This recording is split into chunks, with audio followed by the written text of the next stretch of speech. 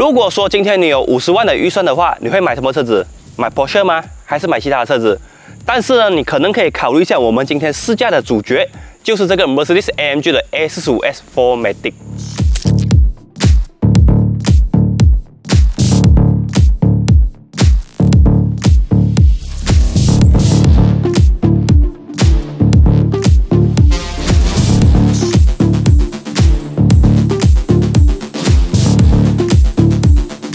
这款车呢，是在之前跟这个 Air Class 小改款一起在马来西亚市场发布的，它也是马来西亚硕果仅存的 Air Class Hatchback。如果说你看到这辆车呢，你真的要小心，因为这款车的加速表现真的非常的凶。你看它的外观设计，很多人说这个外观设计很凶，其实我自己觉得哦，它有点低调。除了这一个 AMG 家族必备的这个直瀑式的水箱护罩，还有一点点孔力套件之外，你看得出它跟普通的 A Class 有什么差别吗？影片的下面留言给我知道。然后还有一点哦，就是这个轮圈在小改款的部分呢，它也是换了一个全新的设计，是一个哑黑的风格。这个轮圈设计，我觉得，嗯，我没有什么 comment 啊，你们觉得好看没有？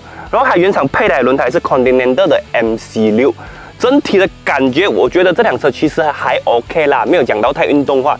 不过它也符合现在很多人的要求，就是低调。如果讲你太高调的话，加出去全部人就是望着你，这样的话，给我会有一点点排斥啦。我们来看车尾的设计，车尾相比起车头哦，就凶了很多。这个 AMG 的四出排气管上面还有写着 AMG 的字样，然后钢琴黑的下扰流，这下扰流你不要以为它是白美而已，它是真的有帮助这个加强下压力，所以在跑快的时候呢，这辆车的稳定度会比较高。然后除此之外，还有这个钢琴黑的这个尾翼。整个加起来效果就比车头凶了很多，是不是？而且呢，讲真的啊，如果是讲你单看的看这个车尾的话，你可能分不清 S 十五跟 A 三十五，因为它们的设计都是非常非常的类似。不过呢，不管是 A 三十五也好，还是 S 十五也好，你看到它们你都要小心点，因为都是不好惹的怪物。买到正统 AMG 的朋友呢，以为真的只是买这辆车吗？不是，他们要的是这个引擎。这个引擎是二点零公升的涡轮增压引擎，最大马力表现四百一十六 HP，峰值扭力五百牛顿米。这个数据完全可以媲美三点零公升的涡轮增压引擎了。那么这具引擎除了马力高之外呢，它还有什么重点？它就是经典的 AMG 一人一机。你可以看到这边上面还有这个 AMG 工程师的签名。AMG 的工程师呢是用手工组装每一具 AMG 的引擎，他们都是艺术品。这个不是我用性能啊，还是其他东西可以来形容的。所以买 AMG 的朋友为的其实就是这一个引擎。然后除此之外呢，你不要看这个引擎的输出那么高，它还是可以满足欧洲的 Euro6 C 排放法规，而且不需要任何的 48V 轻度混合动力系统啊，还是插电式混合动力系统，它就可以输出那么高的马力了。所以呢，除了 A45S 以外呢，像是因为这个 C43 啊，甚至是 C63 的大改款呢，都是采用这一级引擎。但是他们是有配合这个混合动力系统啦，所以呢，这具引擎还是非常好撩的。你试过，你就会知道。但是这个油耗有一点点恐怖啦。外装我们简单的带过，我最想跟大家分享的就是它的内装设计。首先，你看我坐的椅子是不是很帅气？这个椅子呢是真正的这个赛车同椅。如果你要舒适性的话，它基本上是没有舒适性，但是它的这个包覆性是非常的好的。你看我的身体坐下去，它整个包覆性刚刚好。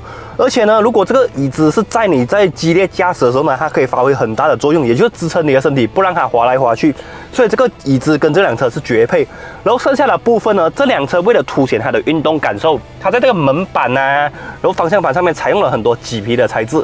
摸上去非常的爽，也非常的防滑。不过就是你的手如果是手汗很严重的话啦，你在抓这个 steering 的话，这个 steering 很容易留下你的手汗。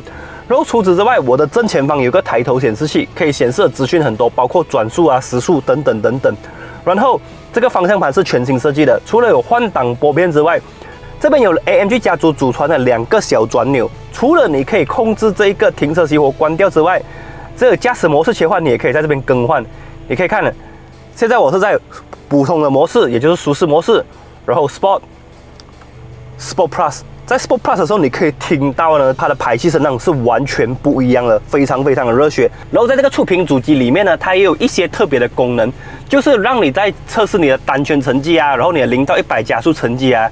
刚才呢，我们看到有一个成绩，它的零到一百加速还不到四秒，所以这辆车的性能真的是超级的强悍。然后还有一点跟小改款之前不一样的是，小改款之前在这边呢，它是有一个触控板，可以让你控制这个车载主机了。但是因为它现在支援这个触屏了嘛，所以小改款之后它直接被取消，取而代之的是一个置物格，可以给你放手机，然后还有防滑垫。整体整个设计风格就是这样子。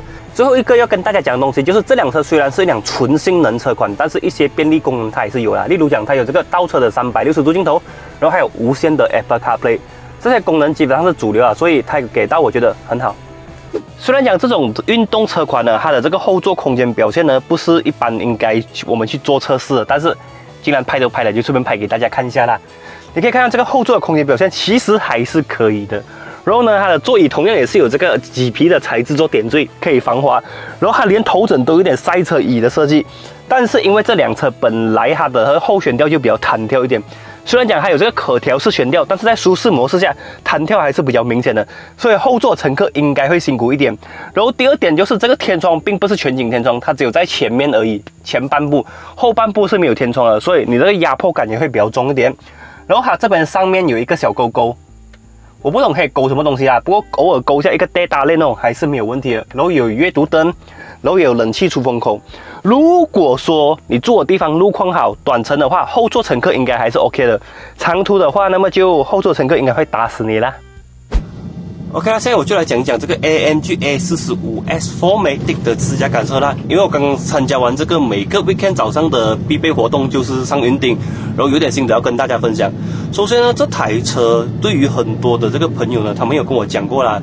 其实他们觉得这台车是一台非常适合任何人开的车子。其实讲只要你的技术不太差的话，那么这台车你基本上都可以发挥到呃七十八千、八十八千左右。为什么这样子讲呢？因为讲真的。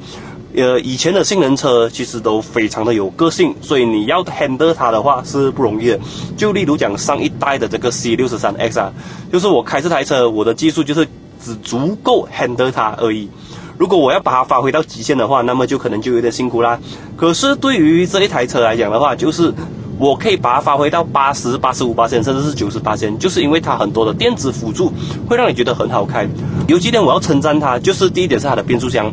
我一般都是在这个 comfort 模式下开车，这个变速箱呢，它非常的灵敏，只要我在爬山的时候，我深踩一点点的油门，它就会呃马上有一个降档的动作，给我相应的档位，让我的速度更快。也就是讲，在爬山的时候呢，我会呃没有感受到这个车子没有力的情况出现，这一点还蛮不错的。然后第二点就是这个引擎。我知道讲到这个引擎，很多人就会讲，哎呀，引爆 R 也是二点零嘛，也是二点零 Turbo 嘛，但是实际上他们还是很不一样的。这一台车的最大马力表现是四百一十六 HP，马力那么高，排气量二点零，但是它还满足得到欧洲最新的排放法规，这一点就非常非常的了不起了。而且除此之外呢，这台车的引擎响应速度是非常快的。这个也是 AMG 部门的强项之一，因为呢，呃，很多引擎可能是讲它的马力也高，但是你真的去踩那个油门的时候，你会发现它的这个转速响应可能会比较慢一点点，但是这个 AMG 就很快。因为这个就是 AMG 工程师技术跟经验所在。其实这个 AMG 不只是一个图腾而已，它是真的有料到的。所以大家不要认为 AMG 只是一个挂名字出来卖的东西而已，它是真的有一个很强很强的实力在的。然后接下来的第三点就是这个底盘，这个底盘拥有这个 Formatic Plus 的技术。什么是 Formatic Plus 的技术呢？讲真的，它其实就是个四轮驱动系统啊。然后它可以把这个扭力很平均的分配到四个轮子上面，也就是讲这一台车，你在爬山的时候，你在弯道的时候，它都可以给你很好的循迹性，让它呈现一个很好的操控表现。而且除此之外呢，它并不会有推头或者是推尾的情况出现。这一点，呃，如果你是单纯开这个前轮驱动或者后轮驱动的性能车呢，你可能就会 feel 到明显一点。但是这台车不会，就是因为它四个轮子都有这个扭力在，然后都在转，所以它可以给到你很好的循迹性。所以我该一路来有爬云顶的时候，我整个人驾都是非常开心的。这台车就是一台很好上手的车子。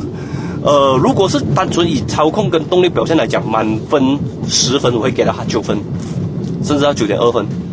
因为我开起来，我觉得完全就是无压力的车子，它不会让我去 pending，就是讲，呃，我可能 handle 不到这辆车子啊，还是什么情况，并不会有这样子情况出现，所以我开的还蛮爽的。可是呢，我有去征求一些玩车的朋友的意见，他们就是跟我讲，对于他们来讲，A 四十五 S 就是没有什么好玩的地方，因为对于他们来讲，可发挥可以挑战他们的东西不多，所以对他们来讲。就是一辆普普通通的快的车而已。不过呢，Mercedes AMG 这样子做对不对？我觉得他们是对的，因为本来性能车就是一个很小很 niche 的 market，他们现在把这个车子做到比较亲民一些，就代表着他们打算去扩大这一个市场。讲真的，我相信一个任何人啊，去开了这台车之后，其实都可以 feel 到这台车，它整体给你的信心度是很够的。你开这台车在转弯的时候，你不用怕呃推头或者是推尾，让你的车子会失控，不会有这种情况出现的。而且这个动力它在加速虽然是快，但是基本上都是以一个比较平稳、比较顺畅的加速在加速，所以我觉得这几点融合起来，就让它开拓了不少的市场。对于一些可能原本不是这样喜欢性能车的朋友啊，他们开这台车也会开得蛮开心的。可是有几点会让我导致我本身不会去选择这辆车，哪几点呢？OK，第一点就是这辆车的这一个价格啦。讲真的，这台车价格真的是高了一点点，因为它是完全 CBU 进口，大概是五十万马币左右。这样子的价格其实你有很多选择的，所以这个可能是导致人家不去选择它的其中一个原因。至于另外一个原因，其实就是它的这个油耗啊，呃，基本上它就处在这种 bugging 都会掉油的这种情况。因为这几天我并没有开很多，我开大概是一百到一百五十公里左右。我现在的油其实已经不到半缸了，所以这一台车它这种高性能的前提下，就是它的油耗可能会高点啊。可是我相信啦，买得起这款车的朋友呢，完全不会去在意它的油耗表现，因为性能车真的是没有几款是省油的啦。这个只是我自己觉得我可能不比较不能接受的地方，因为我穷嘛，我买不起这辆车，所以我觉得这个油耗可能是我不能接受。但是买得起这款车的朋友，Who cares？整体来讲，这台车就是一个我觉得很好的 weekend 玩具啦，就是上山跑一跑还是不错的。我在这里我要澄清，我对这台车是没有贬义的，我是很喜欢它的。以上都是一些我的朋友给我分析，加上我自己经验而得来的结论呐。它确实它的个性没有那么强烈，所以它很好的上手，但是也不代表它的 handling 差啦。你看到吗？我的这个弯道表现。基本上我的速度不慢哦，我下山我都是维持在九十这样的速度，我该上山的时候甚至我可以去到一百，所以我觉得它各方面都很平均，就是而且讲真的，它的对手应该也只有 RS 三一个，有一种机身愈合成量的感觉。不过你给我选的话，我还是会选择这个啦。OK 啊，这个就是我们简短的试驾分享。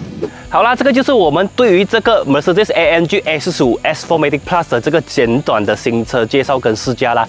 我相信大家对这款车的看法都是它太贵了，确实啦，对比这些小改款之前呢，它确实贵了很多。但是我开了之后，我还是很喜欢这辆车。这辆车最主要的卖点呢，就是它的个性很容易被大家所接受。因为以往的性能车款呢，尤其是老一代的性能车，你要去驾驭那款车，你的技术真的要很好。但是对于这款车来讲呢，如果说你技术普通，也可以很享受它的驾驶乐趣。你技术好的话，你就可以发挥它的潜能。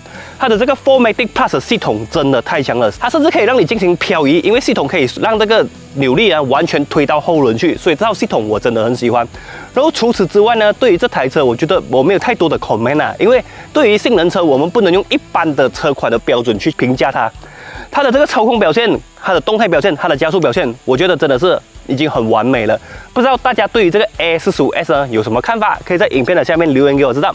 好啦，我是 Ivan，以上就是我们这一期节目的内容。如果大家喜欢我们的影片，记得帮我们按赞、订阅、分享一下。我们下一期再见，拜拜。